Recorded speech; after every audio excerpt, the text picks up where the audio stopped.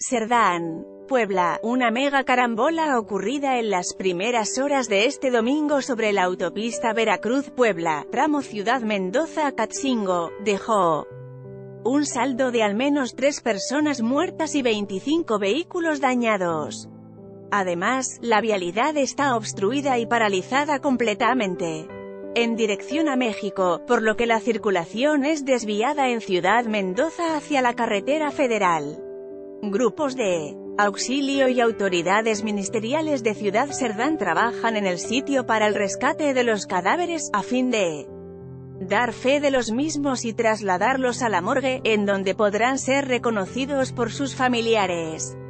Asimismo, paramédicos de Caminos y Puentes Federales Capufe, reportaron a varias personas lesionadas, quienes fueron llevados a nosocomios poblanos. Esto debido a que el accidente ocurrió en el kilómetro 220 con dirección a Puebla, cerca de la caseta de peaje de Esperanza. Oficiales de la Policía Federal División Caminos recomiendan extremar precauciones al circular sobre la zona montañosa, ya que las cumbres están cubiertas por densos bancos de niebla, que por momentos se hacen espesos y anulan la visibilidad en la carretera.